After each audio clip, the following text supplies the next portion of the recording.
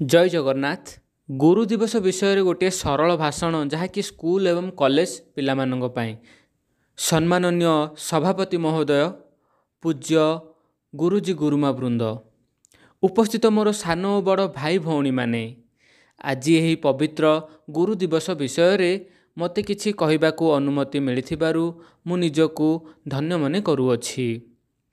ଗୁରୁ ଗୁ ଅର୍ଥ ଅନ୍ଧକାର ରୁ ଅର୍ଥ ଜ୍ଞାନ ଅନ୍ଧକାରରୁ ଯିଏ ଆମକୁ ଜ୍ଞାନ ଦେଇଥାଏ ସେ ହେଉଛନ୍ତି ଗୁରୁ। ଗୁରୁ ବ୍ରହ୍ମା ଗୁରୁ ବିଷ୍ଣୁ ଗୁରୁଦେବ ମହେଶ୍ୱର ଗୁରୁ ସାକ୍ଷାତ ପରମ ବ୍ରହ୍ମ ତସ୍ମୈ ଶ୍ରୀ ଗୁରୁବେ ନମଃ। ସମଗ୍ର ଭାରତବର୍ଷରେ ସେପ୍ଟେମ୍ବର ପାଞ୍ଚ ତାରିଖରେ ଗୁରୁ ଦିବସ ପାଳିତ ହୁଏ। ଏହି ଦିବସଟି ଭାରତର ପୂର୍ବତନ ରାଷ୍ଟ୍ରପତି ଡକ୍ଟର ସର୍ବପଲ୍ଲୀ ରାଧାକ୍ରିଷ୍ଣନଙ୍କର ଜନ୍ମ ଦିବସ ଏହି ଦିନ ଭାରତର ମହାନ ଗୁରୁ ରାଧାକ୍ରିଷ୍ଣନ ଜନ୍ମ ହୋଇଥିଲେ। ଡକ୍ଟର ସର୍ବପଲ୍ଲୀ ରାଧାକ୍ରିଷ୍ଣନ ଅଠରଶହ ଅଠାଅଶୀ ମସିହା ସେପ୍ଟେମ୍ବର ମାସ ପାଞ୍ଚ ତାରିଖରେ ମାନ୍ଦ୍ରାଜର ଥିରୁତାନି ଗ୍ରାମରେ ଜନ୍ମଗ୍ରହଣ କରିଥିଲେ। ତାଙ୍କ ପିତାଙ୍କ ନାମ ଥିଲା ବୀରସ୍ୱାମୀ। ସେ ଜଣେ ପୁରୋହିତ ଥିଲେ।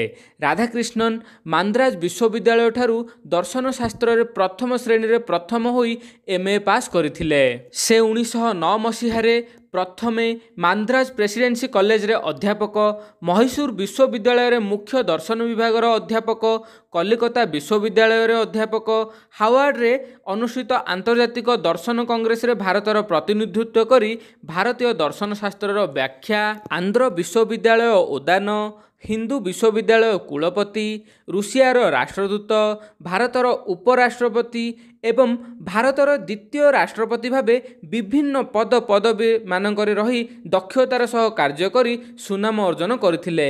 ସେ ଇଂଲଣ୍ଡର ମଧ୍ୟ ସର୍ବୋଚ୍ଚ ଉପାଧି ଅର୍ଡର ଅଫ୍ ମେରିଟ୍ ପଦ ପାଇବାର ସୌଭାଗ୍ୟ ଅର୍ଜନ କରିଥିଲେ। ସେ ଜଣେ ବିଖ୍ୟାତ ଦାର୍ଶନିକ ଶ୍ରେଷ୍ଠ ରାଜନୀତିଜ୍ଞ ପ୍ରବୀଣ ଦେଶସେବକ ମହାନ ରାଷ୍ଟ୍ରନୀତିକ ଜ୍ଞାନଯୋଗୀ ଗୁରୁଙ୍କ ପରମ ଗୁରୁ ଶିକ୍ଷକମାନଙ୍କ ସମ୍ମାନାର୍ଥେ ତାଙ୍କର ଜନ୍ମ ଦିବସକୁ ଗୁରୁ ଦିବସ ରୂପେ ପାଳନ କରିବାକୁ ସେ ନିଜେ ପରାମର୍ଶ ଦେଇଥିଲେ। ପ୍ରତିବର୍ଷ ତାଙ୍କ ଜନ୍ମତିଥି ଗୁରୁ ଦିବସ ରୂପେ ପାଳିତ ହୋଇ ତାଙ୍କ ପ୍ରତି ଯଥୋଚିତ ସମ୍ମାନ ପ୍ରଦର୍ଶନ କରାଯାଉଅଛି ଆସନ୍ତୁ ଆଜି ତାଙ୍କର ପବିତ୍ର ସ୍ୱନକ୍ଷତ୍ର ଦିବସରେ ଶିକ୍ଷାକୁ ସାର୍ବଜନୀନ କରିବା ଅଜ୍ଞାତ ଲୋପ କରିବାକୁ ବଜ୍ର ଶପଥ ନେବା ତାଙ୍କରି ଆଦର୍ଶ ଚିନ୍ତାଧାରା ଓ ନୈତିକ ଶିକ୍ଷାକୁ ଉଚ୍ଚ ସମ୍ମାନ ଦେଇ ଜ୍ଞାନାଲୋକ ବିତରଣ ପୂର୍ବକ ନିରକ୍ଷରତାର ବ୍ୟାଧିକୁ ସମାଜରୁ ହଟାଇବା ସଙ୍ଗେ ସଙ୍ଗେ ଦେଶ ଗଠନରେ ଜଣେ ଜଣେ ଆଦର୍ଶ ଦାୟିତ୍ୱବାନ ଓ କର୍ତ୍ତବ୍ୟନିଷ୍ଠ ନାଗରିକ ଭାବରେ ନିଜକୁ ଗଢ଼ି ତୋଳିବାରେ ମନୋବଳ ସୃଷ୍ଟି କରିବା। ମୁଁ ଏତିକି କହି ମୋର ବକ୍ତବ୍ୟ ଶେଷ କରୁଛି। ଜୟ ହିନ୍ଦ ଜୟ ଭାରତ।